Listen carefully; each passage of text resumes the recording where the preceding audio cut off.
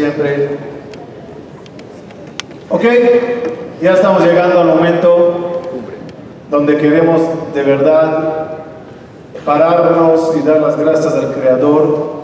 Quiero nada más decirles algo que he aprendido este año y da mucha importancia a estos momentos. Cuentan que había un rabino que compró una casa preparada, se llama en Israel Caraván, de un colel, no sé si vieron que es como un contenedor, que ya viene todo construido como una casa, todo listo, con ventanas, con todo. Llegó la grúa, baja el colel, la noche, el jajam sale con su hijo chiquito y va dirigiendo al conductor que tiene el, la grúa derecha, derecha, derecha, izquierda, izquierda. un poco más para allá, un poco más para allá. Baja, baja, baja. Mueve, mueve, mueve, mueve, mueve. Gracias, chao, bye. Sí, fuera. Al día siguiente sale el jajá por la mañana con el hijo y se pega un golpe en la cabeza. Puso el caraván sobre el registro de la alcaldía. No, no, no, no, no. Ah, ahora mover esto. Le dice el niño chiquito al papá, pa, ¿cuál es el problema? Yo te vi ayer con la mano moviendo.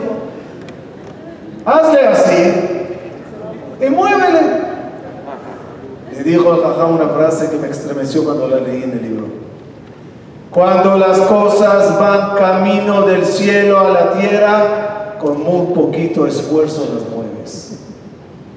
Cuando ya llegó a la tierra, ya se asentó, se puede mover, pero ya es más difícil. Kalkadosh, estos son momentos que las cosas van camino del cielo a la tierra.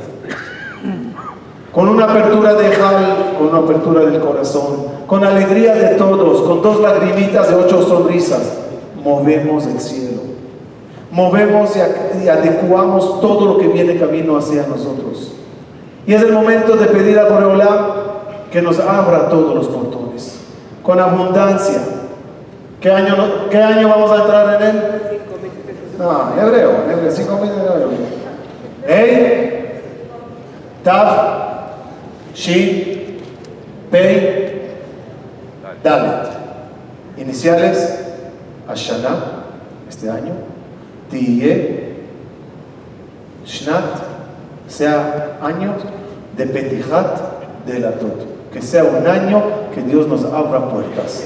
Que así sea Besat Hashem, que a cada Bajo nos abra las puertas y nos dé todo lo bueno para que Besat Hashem también nosotros le demos mucha sonrisa.